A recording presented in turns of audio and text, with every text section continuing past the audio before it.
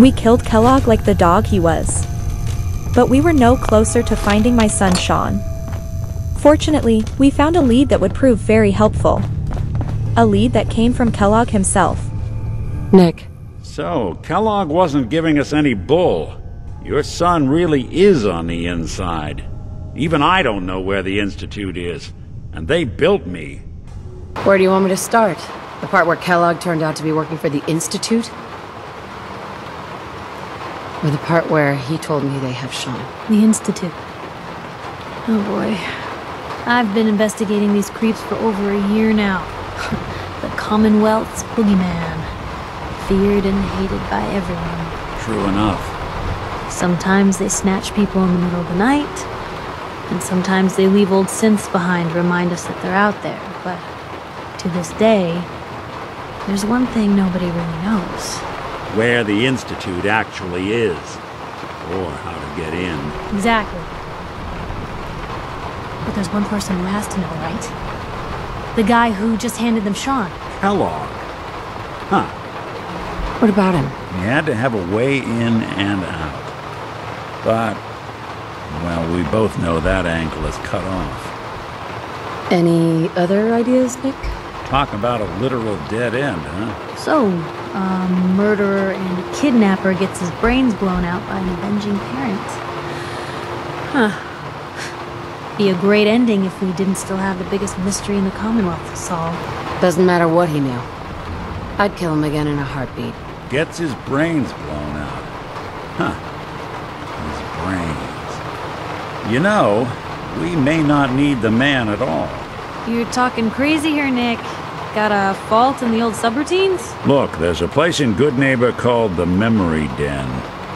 Relive the past moments in your mind as clear as the day they happened. If anyone could get a dead brain to sing, it'll be Dr. Amari, the mind behind the memories. Who's this Dr. Amari? I'll let her give you her life story in person. Let's stay focused. Hmm. I guess we're gonna need a piece of Kellogg's brain. Enough gray matter to bring to Amari and find out if this is going to work. Jesus, Nick. Gross. Seriously? I know it's grisly, but what choice do we have? We got no leads, nothing. That old Merc's brain just might have all the secrets we need to know. Actually, I think I already have something. Kellogg had this. this thing attached to his head. Cybernetics, huh? We may have just won the lottery. Whether we're riding this crazy brain train or not, we can't all go running across the Commonwealth, so. Who's coming with you? I have to go to the memory den either way. I'm going to introduce you to Amari. If you want to head there together, just say so. So we went to a doctor who could scan Kellogg's brain and give us the information we needed. Rot in hell, bastard.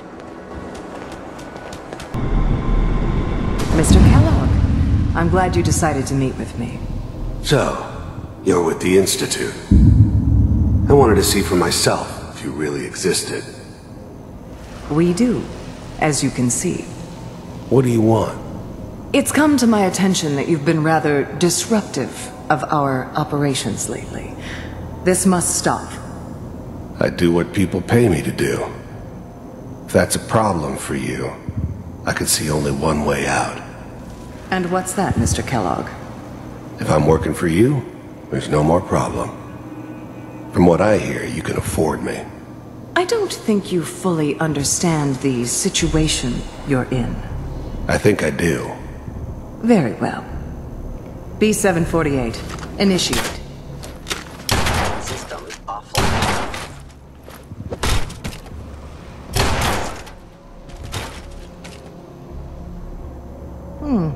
Impressive. We may have something to talk about after all. Getting warmer. One of these has got to tell us something. We're running out of brain here. Ah. Ah, there's one that looks mostly intact. Connecting now. Manual override initiated. Cryogenic stasis suspended. The vault computers are still working. That's good. Checking through the logs. Hopefully it's all... Just find it. Pod C6. Down the hall near the end.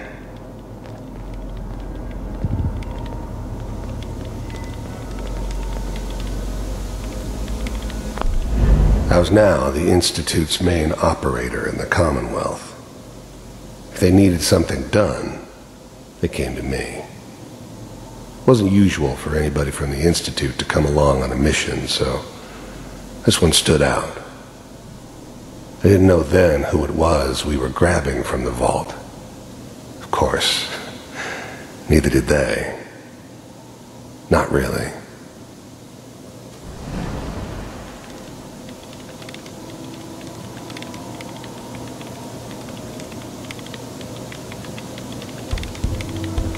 This is the one. Here.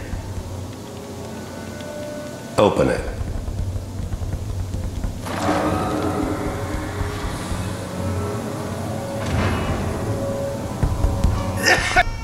Big heads never liked taking orders from a dirty, contaminated degenerate like me. But they needed me, and I made sure they knew it. I'm glad I didn't have to kill the kid. I'm not saying I haven't done it, but uh, I never liked to. But it was better this way. Better than taking his kid and leaving him alive. Is it Almost. Everything's going to be Are you fine. okay? Come here. No. Come here, baby. No. I've got him. Let the boy go. I'm only going to tell you once. I'm not giving you Shaun! God damn it. Get the kid out of here and let's go. At least we still have the backup. Cryogenic sequence reinitialized. Even then, I knew it was a mistake leaving her alive. I understood that kind of revenge. No one better. But I was cocky enough to assume I could handle some soft, pre-war vault dweller, even if she somehow got thawed out. At least I know those Institute bastards will soon get what's coming to them, too. If she could take me out, they won't be able to hide from her for long.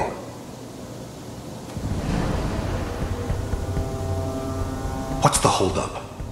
I'm almost finished, Kellogg. I just need to confirm. Come on, come on, come on. All right, we're good.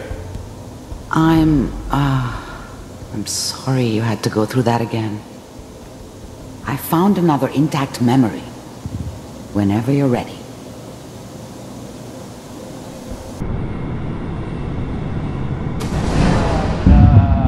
Is that your son?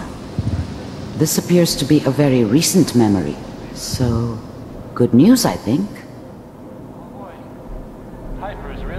This. His whole setup in Diamond City was part of some elaborate plan of the old man's. Seems obvious now that we were bait for our friend from the vault. Timing couldn't have been an accident. It's not how the old man works. I wonder if he outsmarted me in the end. Another loose end tied up. I mean, I'm not, I'm not, I'm not saying she's right, but It wasn't my idea to settle down with the kid in the middle of Diamond City. I thought it was a terrible idea, actually. But it was one of the old man's pet projects, so here we were. Me and the kid. Like a happy little family. I ended up kind of liking it. A reminder of what my life might have been if things had turned out differently. But there's no going back. I knew it was just temporary. It'd be back to normal business before too long. Mayor. Kellogg. It's okay.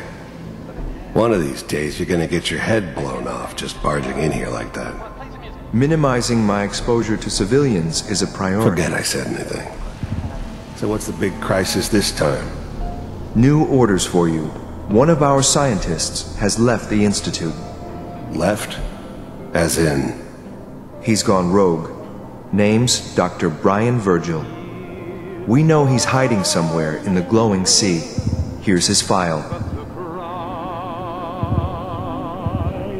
Wow. Some heads are gonna roll for this. Capture and return, or just elimination? Elimination. He was working on a highly classified program. No kidding. One of the top bioscience boys? Damn. So, I guess you're taking the kid back with you. Affirmative. Your only mission is to locate and eliminate Virgil. You're taking me home to my father? Yes. Stand next to me and hold still. Okay.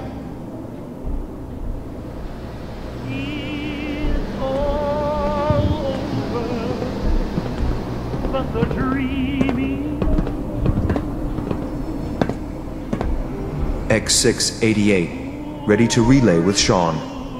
Bye, Mr. Kellogg. I hope I see you again soon. Bye. Teleportation. Now it all makes sense. Nobody's found the entrance to the Institute because there is no entrance.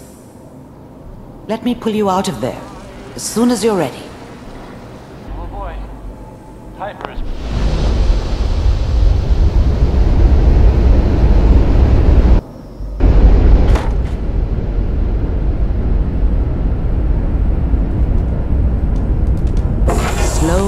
Okay? I don't know what kind of side effects the procedure might have had. No one's ever done this before. How do you feel? Am I okay? Are you seeing anything... anything bad? Don't be alarmed, but I honestly don't know what to look for. As I said before, this is uncharted territory, but your neural and physiological readings have returned to normal. From a medical standpoint, you're fine. Are you ready to talk about what happened in there? You were along for the ride, weren't you? You saw what I saw. Yes, but it's important we review everything together, in case either of us missed anything. There's more than one person who knows about the Institute. Virgil, that scientist who escaped. I didn't know Institute scientists could defect. This changes everything. He could answer all sorts of questions. Where did the memory say he was? The glowing sea? That can't be right. No one would risk going there, not even to hide. Why? What makes the glowing sea so dangerous? The name says it all. Radiation. So much that nothing there could possibly live. Nothing pleasant. Navigating radioactive hazards is nothing new. But the glowing sea can kill a man in seconds. That's why it doesn't make sense. Virgil fleeing into that hell. The exposure alone. That's why he's there. To make the Institute think twice about following him. That must be it. He's using the radiation and the glowing sea like a shield or a cloak, a way to throw them off and be at an advantage. If Virgil found a way to survive there, you'll have to do the same. If you're going to follow him. How do I fight that much radiation, Doctor? There are chemical compounds. Rad-X, Radaway. You'd need as much as you could carry. Maybe more. A sealed environment suit would be great, if you could find one. Or maybe one of those suits of power armor? That would be perfect. Oh, I'm going in naked. Fingers crossed I get superpowers. I know you're joking, but as a doctor, I feel obligated to remind you that unprotected radioactive exposure will only kill you. Dead. D-E-A-D. So be sure you find a way to get through there with your life intact. And good luck. By the way, I unplugged Mr. Valentine first. Removed the implant while you were waking up.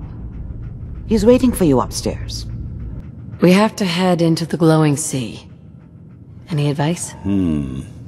I'm a synth, so radiation isn't much of an issue for me, but an old suit of power armor might just be the guardian angel you're looking for. That or you could buy up all the Rad-X and Radaway you can find from any chem dealer who's got it in stock. Let's get going, Nick. Been one heck of a ride so far. Let's see where it takes us next.